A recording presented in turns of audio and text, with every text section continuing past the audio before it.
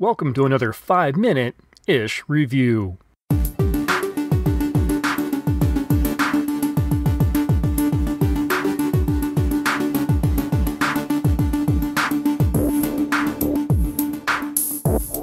As I continued to cover the full moon vampire subspecies saga, I had to take a slight detour and take a look at 1997's Vampire Journals.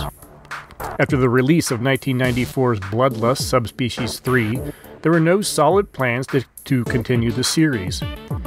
Ted Nicolau and Charles Band didn't want to leave the vampire mythos behind, however, so Nicolau got to work on writing a story about some new vampires within the same universe. These vampires were not the decrepit, drooling monsters like Radu. Instead, they are beautiful and handsome and easily work within the societies around them. In Vampire Journals, we meet Zachary, a reluctant vampire that has taken it upon himself to hunt down and destroy all the vampires in his bloodline. With the vampire killing sword of Laertes, he makes his way to Bucharest to hunt down the vampire Ash, the music lover. Ash has fixated his music loving but dead heart on beautiful pianist Sophia, who is currently performing in Bucharest. While walking home from a rehearsal, Ash starts to make his move on Sophia, but Zachary intervenes.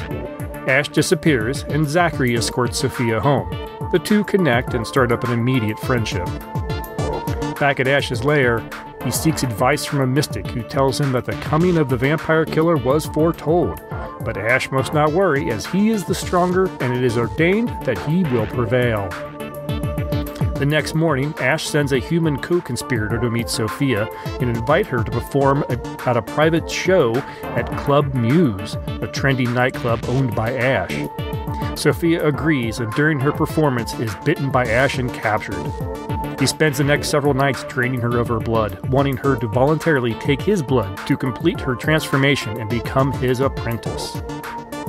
Zachary engages Ash in a battle of wits as well as brawn in order to try and save Sophia from the curse of everlasting death.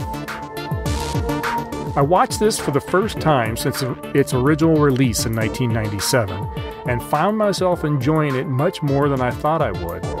My original opinion, from what I can recall, was of disappointment. I think I went in assuming it would be related to the subspecies films and that maybe it would finally provide some closure to the fate of Michelle. Going in this time, knowing what it was, I found it much more entertaining. While certainly not without its flaws, it creates a larger world that could exist within the subspecies universe, and in this world, you could tell other stories than what we've seen in the previous franchise. Which brings me to what could be its biggest flaw. The story here feels like an abridged telling of everything we saw in the first three subspecies films. Dipping back to the first film, we have a vampire with his sights set on a beautiful woman, a woman that spurns him at every chance, but that only makes the vampire one or more, and we have a vampire with a good heart that wants to destroy the antagonist and save the girl. The remaining themes of reluctance, betrayal, and conquest that we see between Michelle and Radu are spread amongst a larger cast of characters, but that doesn't make it any less familiar. Perhaps there aren't as many tales to tell about a vampire as one might want, and this criticism could be leveled at any film on the subject. I'm on the fence on the casting of the film.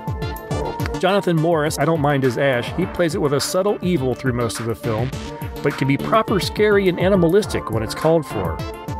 David Gunn as Zachary lays on the soap opera level of brooding a little too heavily. He'd be right at home in a Twilight movie. I get that he's the reluctant vampire and he hates his existence, but his continual dour expression, which is only exaggerated by the fake fangs under his lips, makes me wonder how Sophia would find him at all enigmatic as we are led to believe that she does.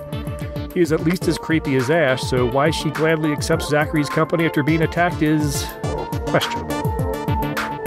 As it turns out, Vampire Journals is an important chapter in the overall franchise, and it should not be skipped. So give it a shot, and if you are going in forewarned, maybe you won't be as disappointed as I initially was. Please let me know your thoughts on Vampire Journals and the Subspecies franchise. Follow the link in the show notes to, our, to all our social media and contact information, or just drop me an email at timeshifterspodcast at gmail.com.